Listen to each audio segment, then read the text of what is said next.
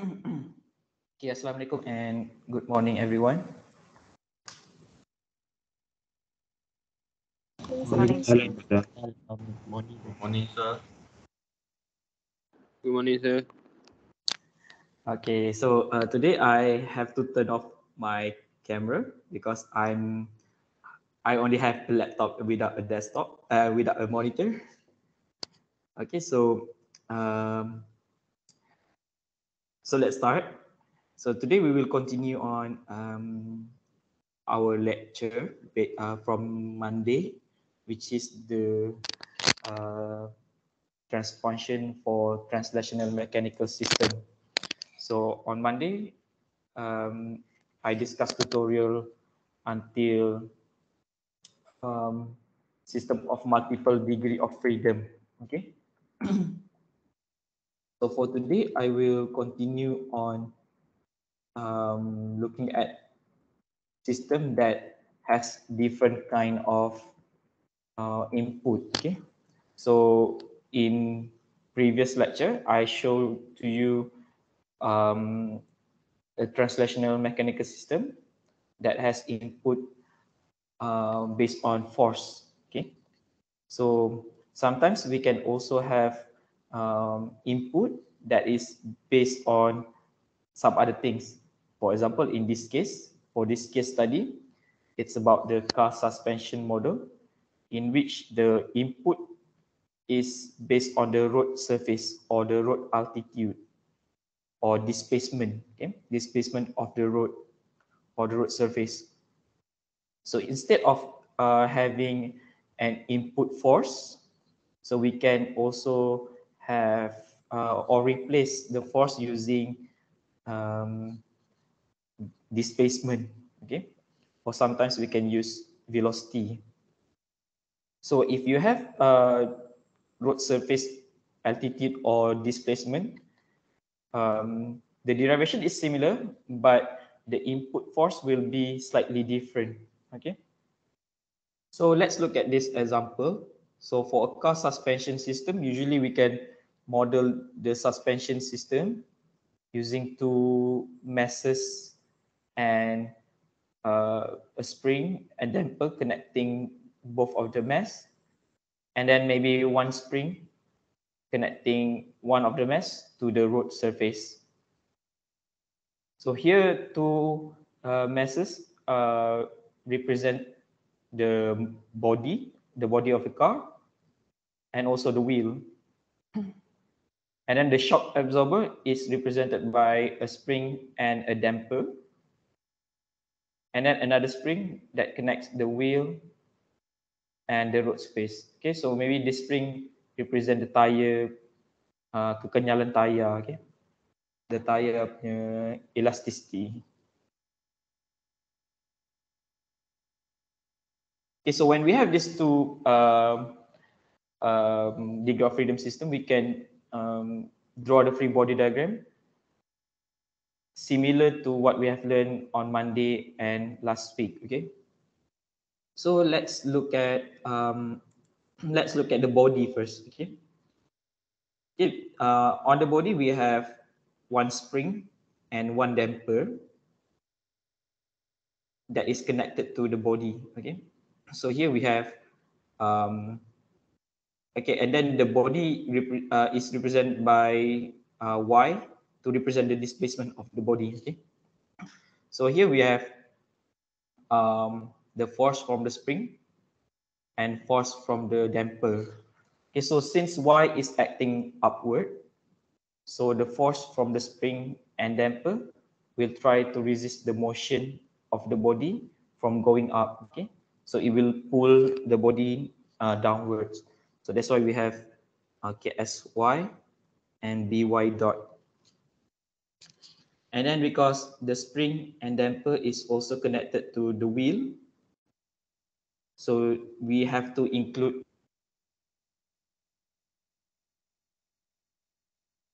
so here we have ks minus x minus ks x and minus b times x dot okay or if you want to draw uh, to, or you want to separate the force um, and don't want to include it uh, in bracket, you can draw the force uh, upward, okay?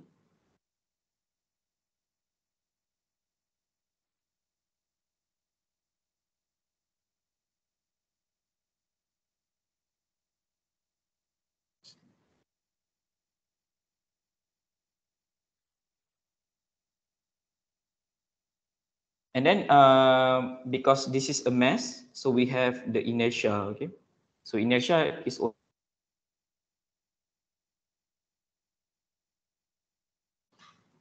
Okay, so you can write it, uh, the equation of motion. So um, best practice is to have this force as well, okay? But in this example, it doesn't include the force from the inertia. But um, for you in exam, please include this in your free body diagram. Okay. If you have inertia, please include the, uh, if you have mass, please include the inertia in the free body diagram. Okay, so I think for the body, you understand how to uh, develop the free body diagram. So now let's look at uh, how to draw the free body diagram on the wheel. So for the wheel, we have uh, three components connected to the wheels. We have, so we have KS, uh, spring KS, damper B, and spring KW. So we have uh, three uh, forces okay, generated from these three elements.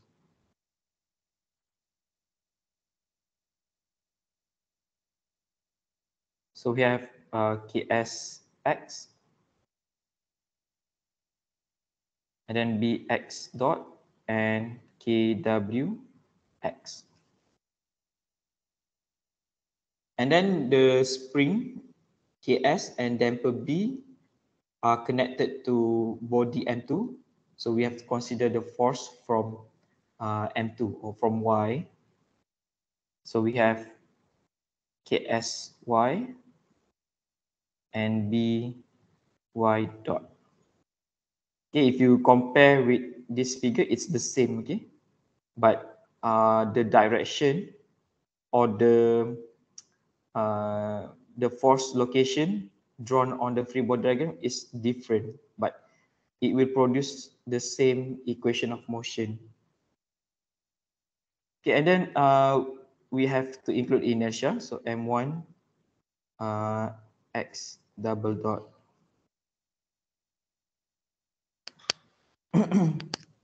Okay, now we have this road surface here. Okay, so for road surface, um, what you have to do is you have to treat it like another degree of freedom. Okay, that's uh, the easy way to understand this. Okay, so treat it like another degree of freedom. So maybe there is a degree of freedom here going up, okay, represented by R. So spring KW is also connected with uh, R. Okay. So uh, KWR, the force KWR will be acting upward because uh, it is similar to uh, Y. Okay. So uh, any forces that is not X is going upward and all forces that has X will try to resist the motion of the box. Okay. So here we can draw uh, the force from R, KW, R acting upward. Okay, so uh, if you compare with the figure on the left, the forces are the same okay, when you write the equation of motion.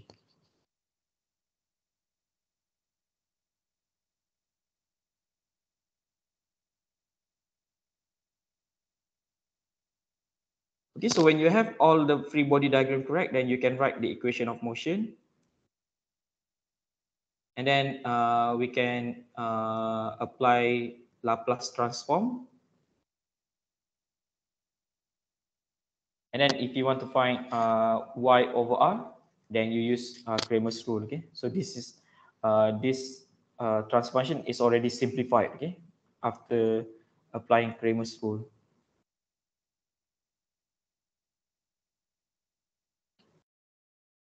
Okay, any question before we go to tutorial question?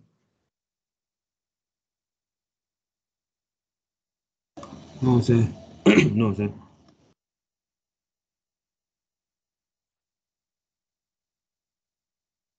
Okay, so let's look at uh, the tutorial.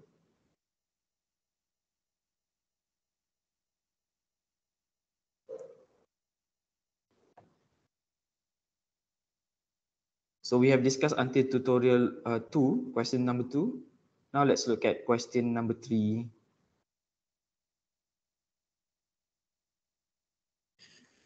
Okay, so a dynamic absorber is shown. Okay, so this dynamic absorber. This system is representative of many situations involving the vibration of machines containing unbalanced components. The parameters M2, K2, and B2 may be chosen so that the main mass M1 does not vibrate in response to foundation vibration. So question A, determine the equation of motions describing the dynamic of the system.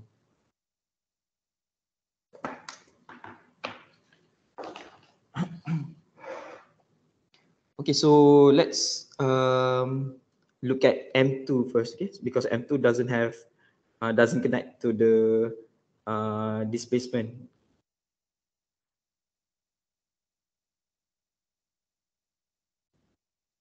So we have displacement here. So instead of uh, having input force, so we have input displacement represented by y naught. Okay. And then M2, uh, displacement of M2 is y2 and displacement of M1 is y1. So let's look at uh, M2.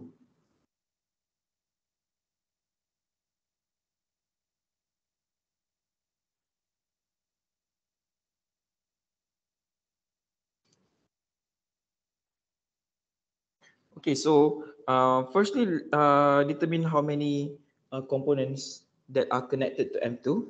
So we have spring K2. So we have spring K2 connected to M2. And we have this B2 already labeled to you.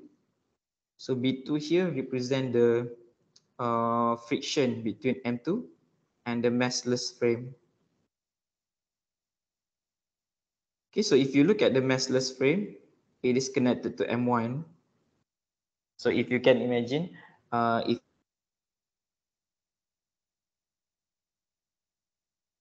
okay, so if you move M1, then M2 will uh, will be bergeser, okay, with the massless frame. So uh, the massless frame is not a wall because uh, the geseran depends on movement of M1. So it's something like uh, a damper. B2 is something like a damper connecting M1 and M2. Okay, so if you can, uh, maybe if you can redraw, then M2, we have spring K2, and we have a damper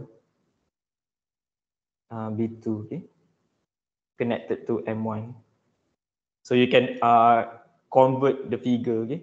If you uh, if you pening look at this figure. So the B2, the friction B2 can be thought as a damper between M2 and M1.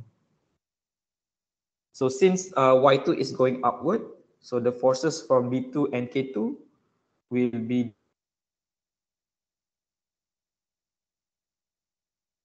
forces so we have uh, K2Y and B2Y dot and inertia M2Y double dot. And then uh, K2 and B2, the spring K2 and uh, friction B2 are connected to M1. So we have forces from M1 so here we have K2 Y1. Sorry, this is Y2. And we have B2 Y1 dot.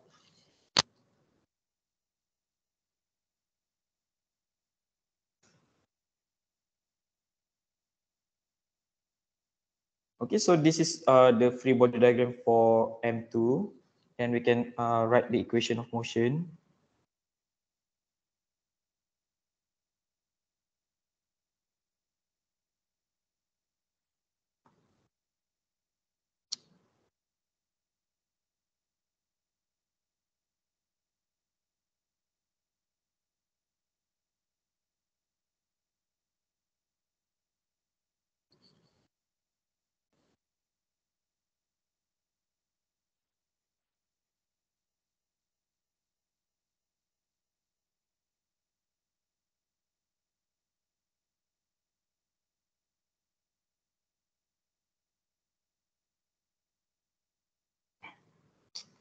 Alah.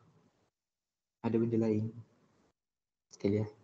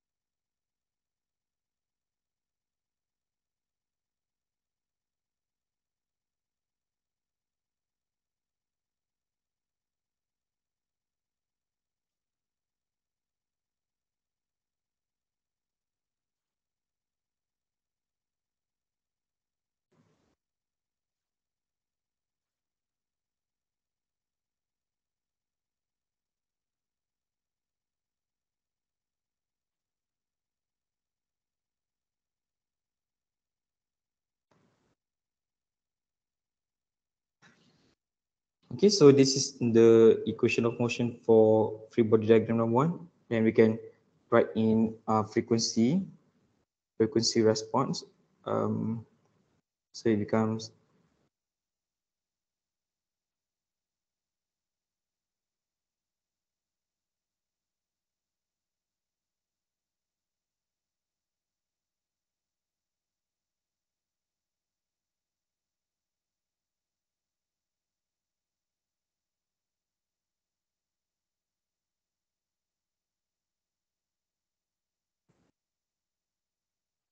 Now let's look at uh, the second uh, mass, M1.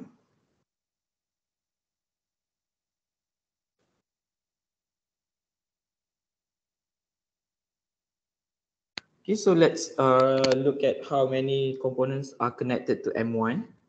So here we have spring K2 and friction B2 because of massless frame connected to M1.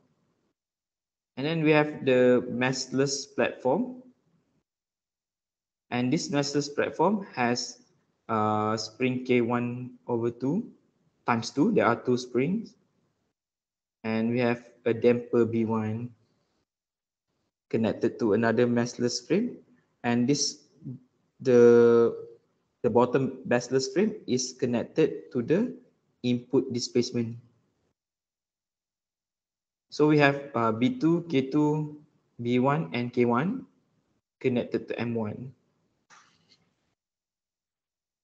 So we have B2, Y1 dot,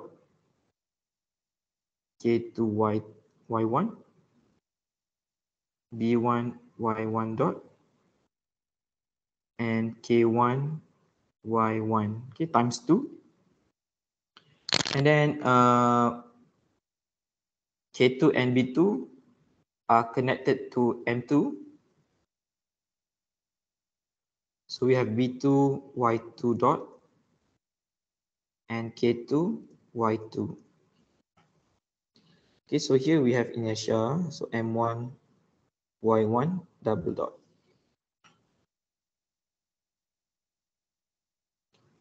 Okay, so now the spring K1 and damper B1 are connected to Y naught. Okay, so we have the contribution from Y naught from K1 and B1. So you can treat uh, Y, y naught as another degree of freedom. Okay, similar to uh, the lecture that I gave just now. So we have K1 Y naught and B1 Y naught dot okay so force k1 y naught and another force b1 y naught dot. Okay check. And then uh, i think all of the forces are there. Then we can write the equation of motions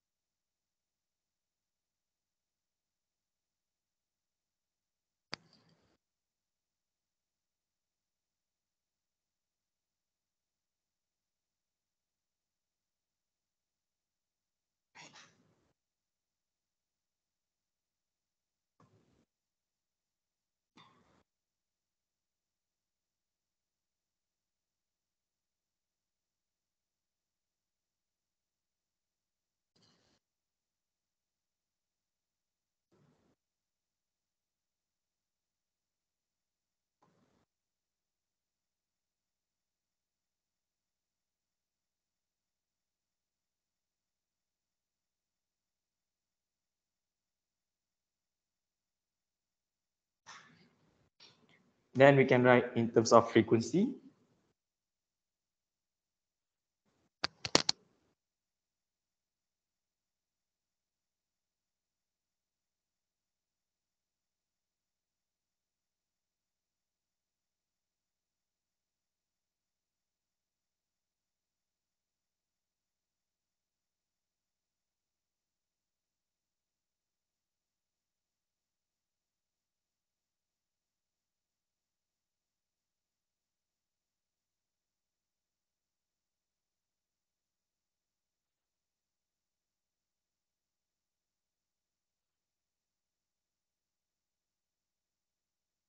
Okay, so we have two equations.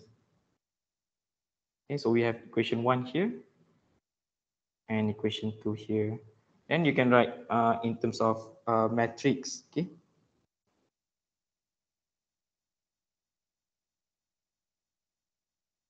So for matrix, I usually start with y1. Okay, so um,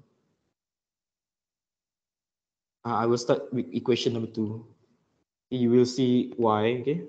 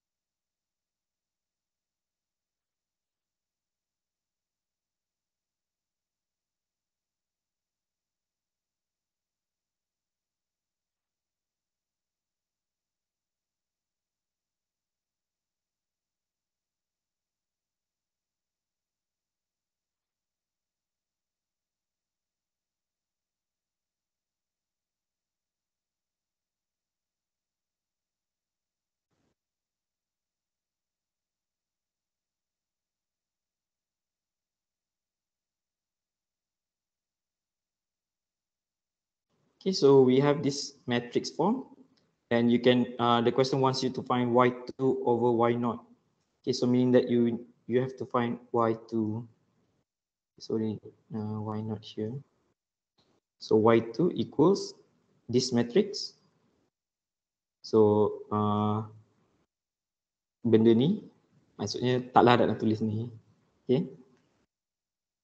Too, uh, too long. Okay. So you just replace this column into second column.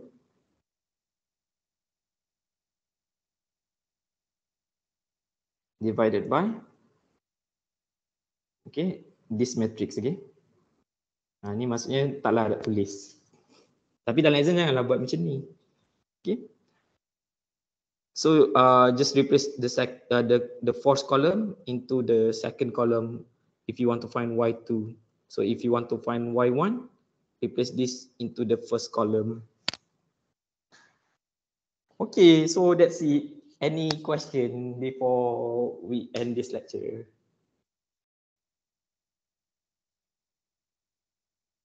Yang maksudnya yang ini untuk dua soalan A dan B tu. Ah yes, yang cari transformation ni soalan B. Yang ni kan yang yang dalam gambar uh, screen ni kan. Ah, Ini untuk betul. nombor kan kan. Yes, yes. So nanti uh, try try cari uh, nak saya check pun okey je. Tak nak saya check pun okey je. Okay, so uh, that's it for this. Any question?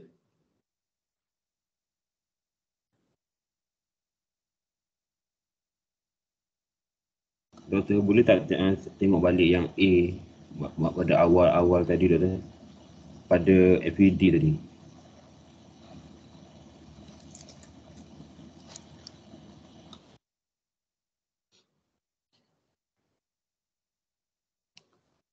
Okay, so uh, today is the 30th, right? So ada quiz, okay? Kena hantar esok. So please remember, don't forget to submit your quiz. Kuis mana doktor? Yang terbaru lah tu. Kat dalam kalam.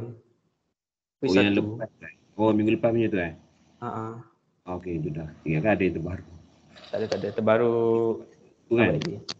Next dua minggu kot, tak tahu lagi.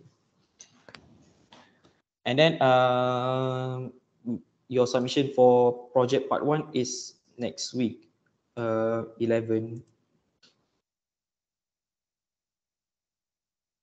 11 midnight. So meaning that submit before, uh, submit on Sunday, okay? Jangan submit Monday. Uh, Monday dia auto tutup. Okay, so submit on Sunday.